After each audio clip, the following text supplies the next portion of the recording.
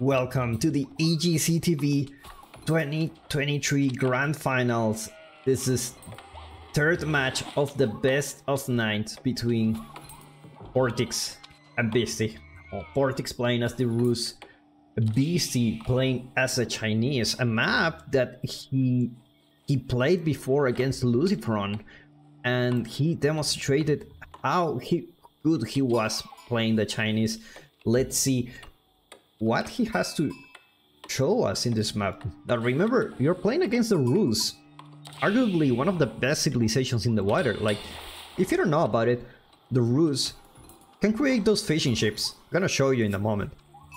So you create those fishing ships, and they cost more, but they can tra transform themselves into whatever kind of boat that you want if you pay the difference.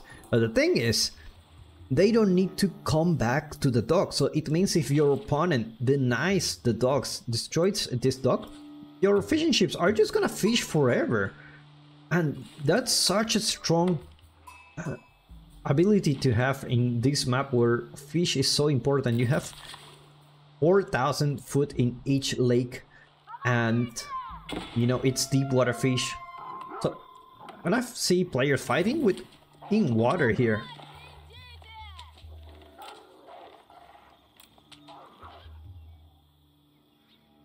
obviously gonna be uh, I mean a little bit of a risky position for his dock. He's pretty far away from from his base. Can be easily deniable for his opponent. I mean, you may not think it's a big deal, but if you walk just a little bit less, you it may be those seconds that you need to take down the enemy ships. And when it comes to the Chinese, uh, they're actually pretty good with water too. Well, let's see if they have anything special. Actually, not nothing special. Nothing, nothing special.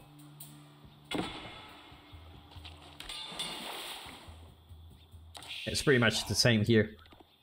By the way, if you're thinking about getting into Age of Empires 4, you know, want to play the game, and you know, you're not really sure if it's a good game or not, I can assure you it's a great game. Like, I haven't been into games for many years, and this one got my attention, and it's such a masterpiece, and now it's the best time to play. You got a new DLC already with four, six new civilizations. The balance is great, the community is great, and the tournaments like the one EGC TV is hosting now, they are always bring the best matches possible. By the way, if you, if you enjoyed this video, forget to give a like, subscribe to watch more Age of Empires content. Have casted games every every single day for you.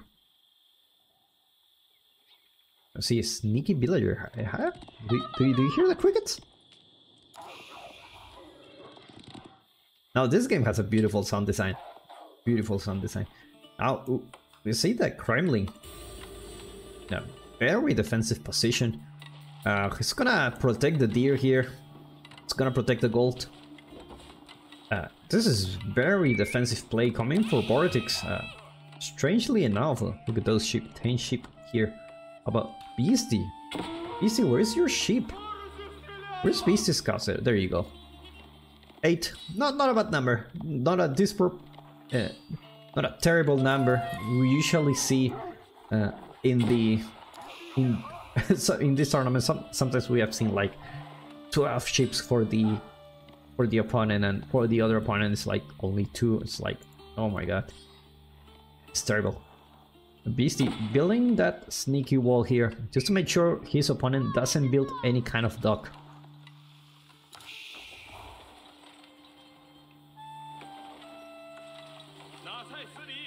Vortix will try to do the same here. Now this is a very defensive Kremlin.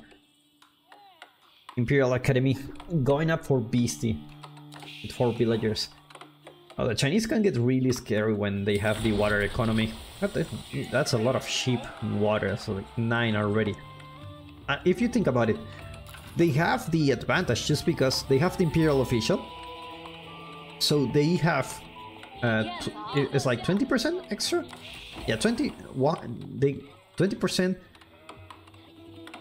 extra resources for each resource that you get here. So uh, they're just gonna have the advantage when it when it comes to to gathering wood. You're just gonna have much more much more economy in the long run. See those ships here already. Look at that. They just fish here. And then, after it reaches the mount, it doesn't need to come back.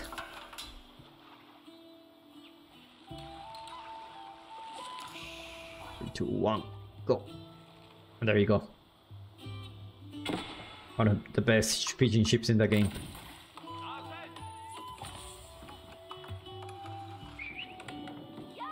We see Double Broadaxe going up for Vortix. Uh, it's gonna be heavy on wood here to get those fishing ships. He needs that upgrade. No economic upgrades yet for Beasty. Looks like probably he will go for a Song Dynasty first.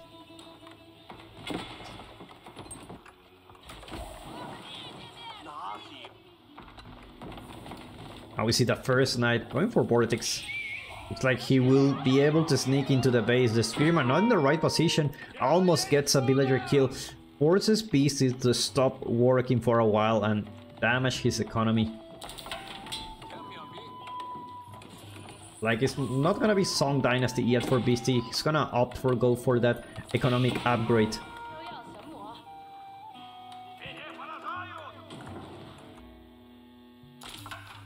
And look at that. Beasty already putting in a ship here, but the fish has already been converted into a Lodya galley. And this one probably will be converted to as soon as he has the resources.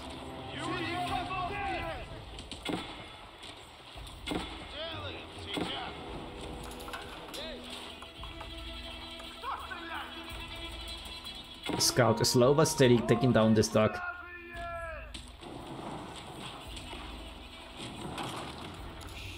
Now this is a problem when you don't put your walls here, your opponent can do something like this. But looks like Vortix will be already fishing into Beasty's late. Now in, in, in a few moments, I'm sure there's gonna be a lot of action going on here. I'm pretty sure of it.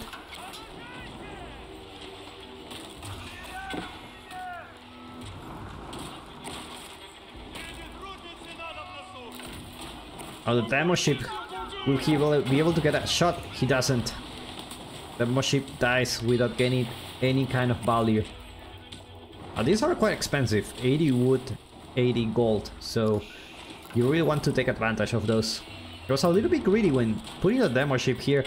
The, his opponent was really far from him. He was hoping he don't have eyes on this part of the map, but Vortix having eyes everywhere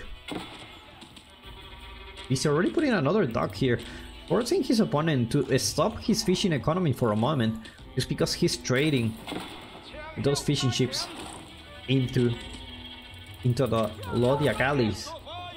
Let's check out Beasty's base. Is he doing a nice wood economy? It's pretty much the same as, as Vortix.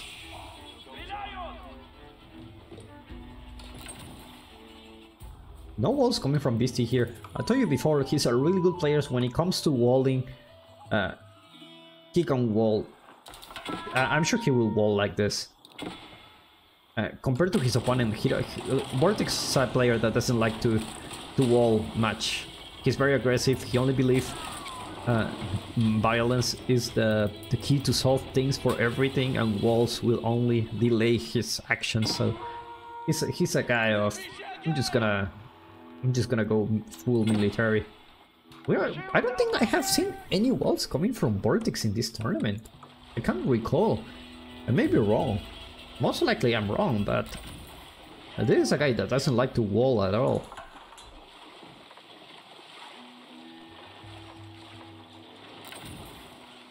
Now the demo ship going here, but at the same time, Vortix aging up with a high trade house.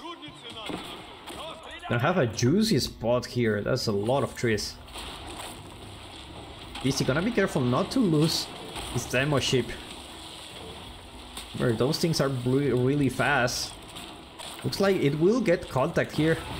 And indeed, it does get contact. And looks like this dock will get denied for the moment. That demo ship is coming out here. Well, Spearman trying to be annoying here. More fishing ships going for this side of the map. BC looks like he's gonna lose a villager. Managed to save him just by an inch. That was close.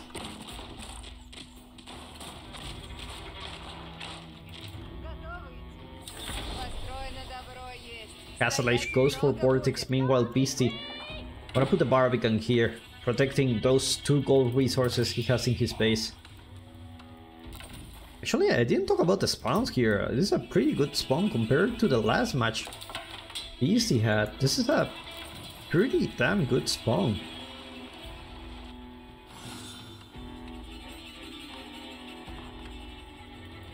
Where's his opponent? Actually, it's pretty good. Two gold in the back.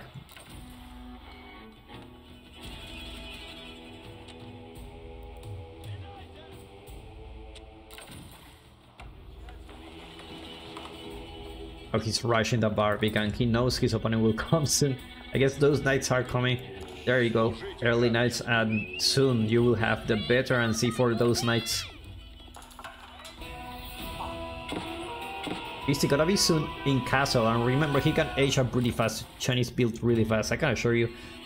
I live in China and these guys build really really fast. This is historically accurate. It's not only historically accurate, it's on it's like just accurate. like in the present, in the past, most likely in the future will be the same.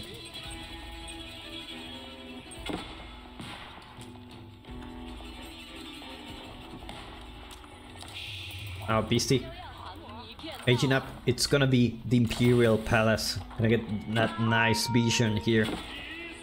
Vortix gonna be able to get two villagers here.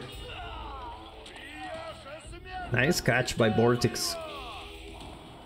And looks like this lake is gonna remain uncontested for Beasty for the time being.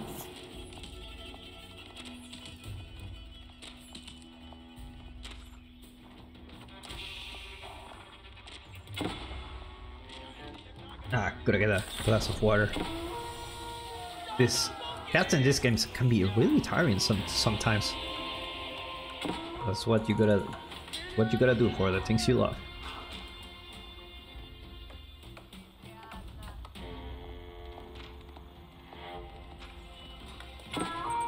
New age begins for Beasty. Look at the vision for this Imperial Palace.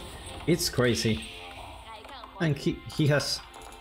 He, uh, did he use the ability? He, he did use the ability. He, he knows where, where he is. Look at this cheeky spearman. Look at that. The Vortix gonna react on time. Oh my god.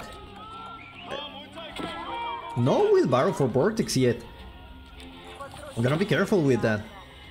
Does he has textiles? No textiles yet. Bravo Beasty. I already got the textiles. The villagers are gonna get a little bit tankier. Looks like this part of the map. It's gonna get for Vortix. But Beasty should be very good sitting with two lakes already. That's 8,000 foot. Now that's a lot of gold. Now this is where it starts becoming a little bit creepy for China just because you get a lot of income, ex extra income, you get more villagers, and the longer the game goes, the more scary China gets, just because they have such a good economy advantage. Vortix are already sitting with one relic, one more to go home. Those two relics looks like it, they're gonna be in Vortix favor. Let's see if BC managed to get one of those relics. This one, unfortunately, I don't think the priest is gonna get it. It's in the range of the Barbican. Actually, I think he tried to get it, but that's why it's here.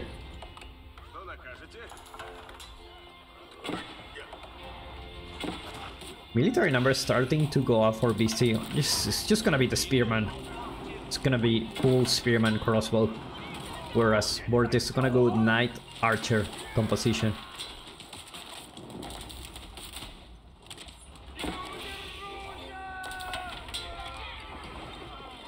More raids coming in the back of Beasty's base.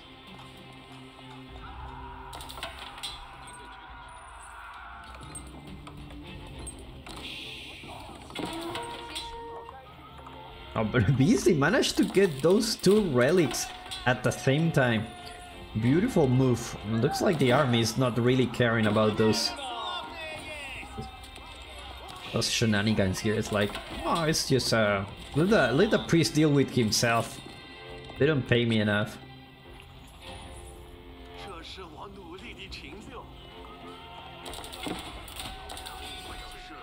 A wheelbarrow just came up for Vortix. All this time playing without wheelbarrow gives you a lot of disadvantage when it comes to the economy. Luckily for him, the Rus has a lot of passive income, has a high trade house, 70. Wow, that's that's a lot of trees. 73 trees, trees here. Sprinkles. Gonna go out for Beasty. Gonna be able to deal with those fishing boats quite easy. Just like the Spearman will need to retreat, there is no unit here to deal with the archers. Looks like he's gonna start mixing some palace guards into the mix to tank some damage. Vortix lose the knights that he had in the front line and now these archers won't have any front line to protect them. But Beasty just decides he's not gonna engage here. Oh, look what, oh, look what's coming here. It's gonna be the Nest of Bees. And if there's something that can take down all these archers in a matter of seconds, it's a couple of good shots from a Nest of Bees. One of the coolest units from China. And look at that. Vortix, knowing that his opponent has Sprinkles, he decides, I'm just gonna fish here and I don't need to return. Nest of Bees managed to get one shot. Look at look at how much damage it has done. Beasty already putting a keep here on the big gold vein. Protecting a big gold vein and also stone. Knight numbers going up for Vortix, but unfortunately not enough to deal with this mass.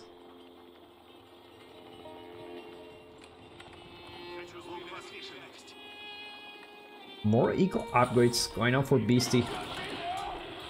Like he will start moving with his army here.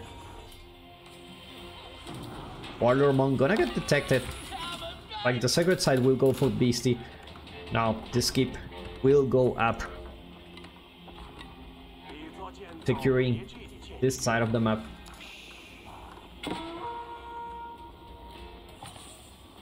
Beasty has a scout here. Uh, he don't, he's just, you know, have a lot of faith. He has a lot of faith at, at this point.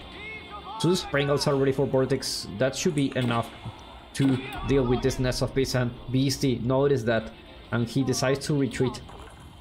You don't want to lose the Nest of Bees here. Goes to more Sprinkles himself. And looks like this Sprinkles gonna do a nice job dealing with those fishing ships. Will we see BC going into farm transition at any point in this game? It will be very hard. Looks like he will decide to go fight for the water here. He knows you cannot deal with those Sprinkles. Gonna be really hard. Last Sprinkles manage to get the Sprinkles down. It looks like the Spearman will go down and the knights will be free to take down those crossbow mass. And it's gonna get surrounded here. Looks like Beasty will, will lose uh, a good chunk of his military numbers, but he's still looking pretty good when it comes to the military.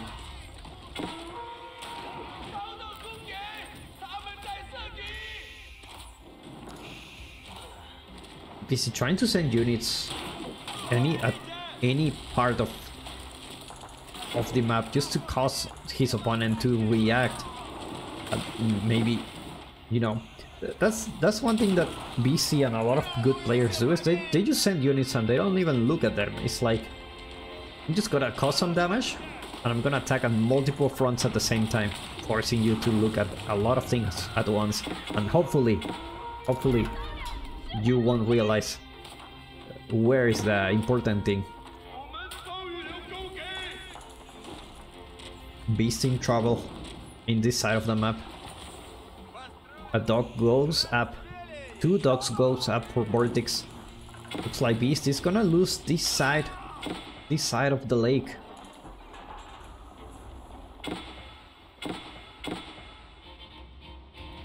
Leaving him with one. And another one that hasn't been contested yet, but it's only two ships here, unfortunately. Not enough ships. Looks like he's uh, looks like he's letting uh, those fishes those fishes die already. Wonder if we will see a farm transition at any point in this game. This or nest of bees. You know what can also take a Springle? Besides another Springle, it's another nest of bees. They do quite a good damage against those. Oh, that's a lot of Springles, it's just five of them.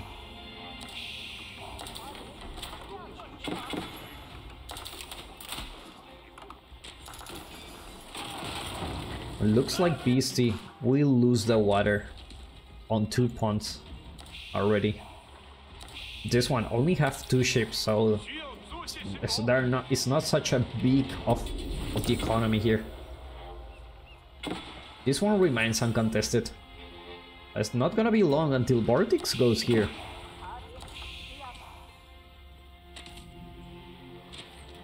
Indeed, the Rus, the Rus, such a strong civilization when it comes to the water, and indeed, it's gonna be the High Armory, going for Imperial Age with 18 villagers. Beasty saving a lot of gold. Now, when it comes to Siege, this guy is also known as Siege QT. You know why? He loves Siege. He plays really good with Siege and he likes to masses like have like stupid amounts of siege in his army composition. Like usually you will see like one or two mangonels. You will see five mangonels from this guy. Just because it's like you know it's so, siege is so effective that it's just so risky it's because if you build siege and you don't use them or your your opponent like you if you get bad shots or your opponent just flanks you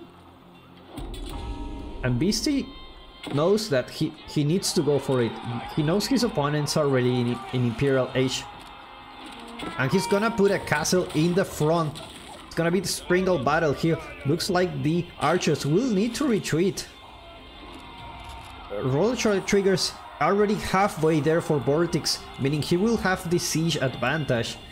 But Beasty decides not gonna put it here. He's gonna put he's gonna put it here. He's gonna put it next to his landmark. The roller shutter triggers. Uh, is it gonna be finished? Six seconds. Beasty only once. Oh my god. He gets it. He gets the upgrade. Vortix gets the upgrade. And now Beasty it's gonna go for Imperial Age. Most likely. There you go. The Spirit Way, where is it? There you go. Is he gonna put that Great Wall House here? BC already having the walls here. He's going for it. He knows his opponent just spent thousands of resources to go to Imperial. He cannot have such a good army, it's impossible. Now Nest of Bees will focus, Look at the damage of the Nest of Bees. Focusing on the high armory, these lamb are pretty useless for now. Vortix will use massive units, one bombard in place. Beast is going all in. Look at the walls coming from Beasty. He's gonna start walling his opponent. And walls coming from, from Vortix. The first walls I've seen him in, in this tournament. I'm sure he had others, but I didn't see them.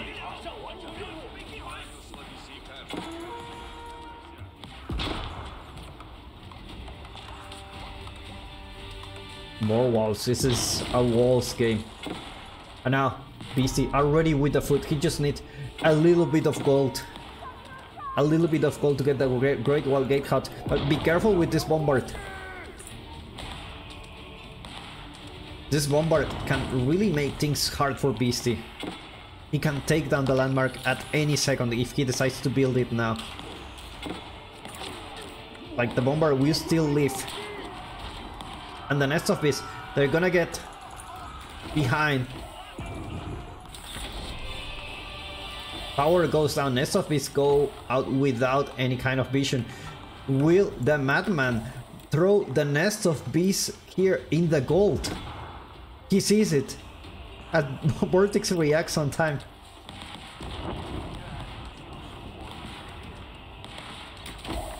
Vortix not letting his opponent put a Great Wall Gatehouse here. I mean, I'm sure this is why this uh, this wall is here, right? And not this bombard. He knows he needs to focus on this wall. The, the, wall goes down, and with that, Be Beasty won't be able to build the Great Wall Gatehouse.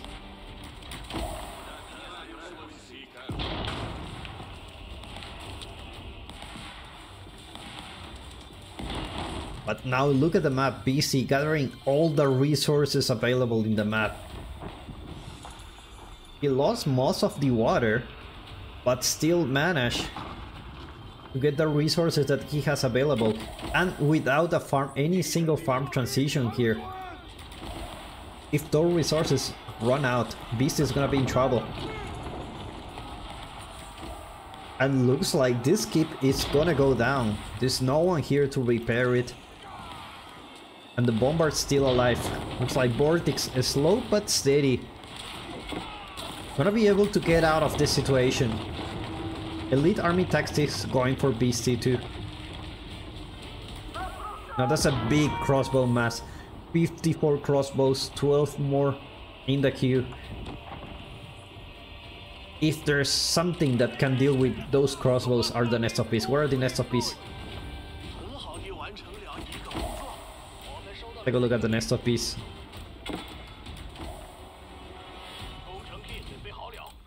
I don't see the Nest of Bees. There are somewhere. It must be somewhere. Are we gonna see Fire Lancers here? I, I think Beast is gonna do it. Beast is gonna go Fire Lancers. I love the soundtrack of this game, the Rus Imperial Age.